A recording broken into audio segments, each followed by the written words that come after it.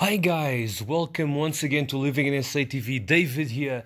Uh, today we're going to talk about the Three Castles building, the whole story, from the 1800s until today.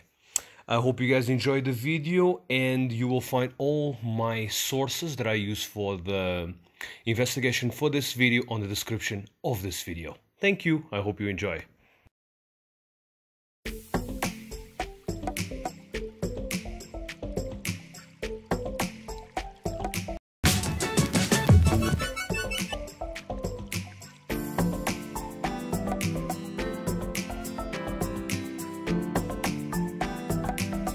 The Three Castles building is a historical landmark structure situated on the downtown of Johannesburg.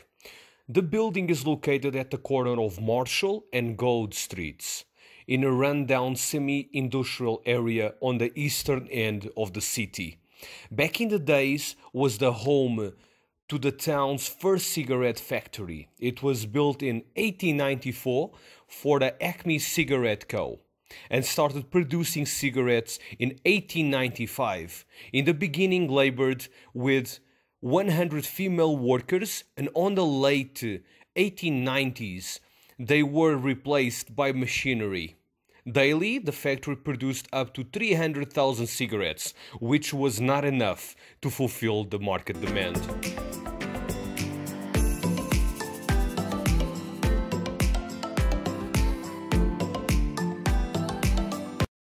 Officially the Three Castles building, it was reopened in 1899 by Paul Kruger, who took over the business. Kruger himself was an enthusiastic smoker. It became known as the Three Castles Cigarette Company. The facade of the building became a powerful marketing tool for the brand. The building is distinguished by three bastions resembling those which form part of the walls of a typical medieval castle. The two-story building has three turrets in an L shape, with the middle larger turret positioned on the corner of the street, with edging of stone running up the walls, and battlements around the square tops of the turrets.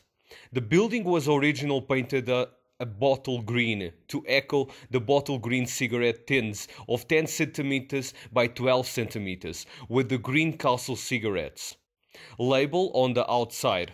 The following wording appeared on the inside of the lid. Every genuine Three Castle cigarette bears the name WD and HO Wills.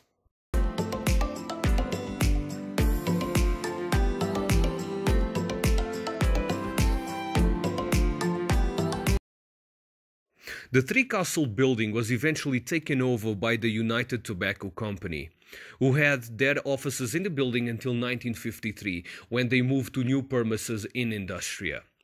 The Three Castle building was once a lingerie business called Fashion from Foundations, or according with other sources, it was called Naomi Beauty Form, was the name of the firm which was well known across the country and abroad for its foundation garments, accessories, and swimsuits. It even had a weekly 15 minute afternoon program on the Springbok radio.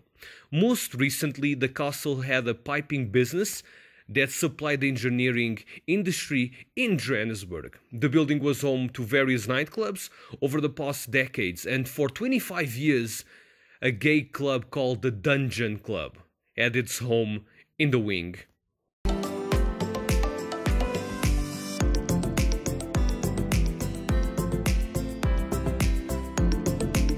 The building is in a very sorry state these days and appears on the South Africa's in danger list. The building was badly damaged on a fire in 2013. The previous owner estimates that his father bought the building for around 350,000 rand. The building should be worth around 2 to 3 million in these days, but he doubts he will get that money. Meanwhile, the castle was sold for 1.5 million by Ocker on Tuesday, the 6th of December 2005, to a private investor that wishes to remain anonymous. Currently, the once illustrious building is irrecognizable, covered in graffiti, fenced off with barbed wire, and surrounded by rubbish bags filled with decomposing matter. The two shades of beige on the exterior are peeled completely, giving the building a dilapidated look. Despite its striking medieval appearance, and only the facades are standing. The internal structure of the building was destroyed by the fire, vandalism, the elements, and time itself. The Egoli Heritage Foundation has appealed to the Heritage Association of South Africa to conserve the historical significant building in association with the Provincial Heritage Resources Authority in Gauteng to bring it back to its former grandeur. Unfortunately, there are no plans for the building that I know of. If you know something, please write down on the comment section.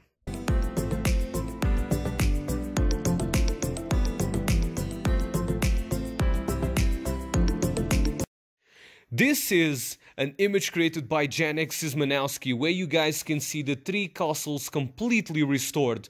Initial draw, now and after renovation. The proximity of the site to the APSA campus and the bustling Maboneng precinct makes it highly suitable for adaptive reuse and for tourist interest and will revitalize a whole block in the city. I just want to leave some ideas of what we can do with the building. We could do a museum with a sidewalk cafe, make a boutique hotel, make a student accommodation, or an art gallery. The reimaginations for the three castles are many, but they seem a very far idea for now. Let me know what will be your idea for the building on the comment section below. Hope you guys enjoyed the video. See you guys on the next Living in SA TV video.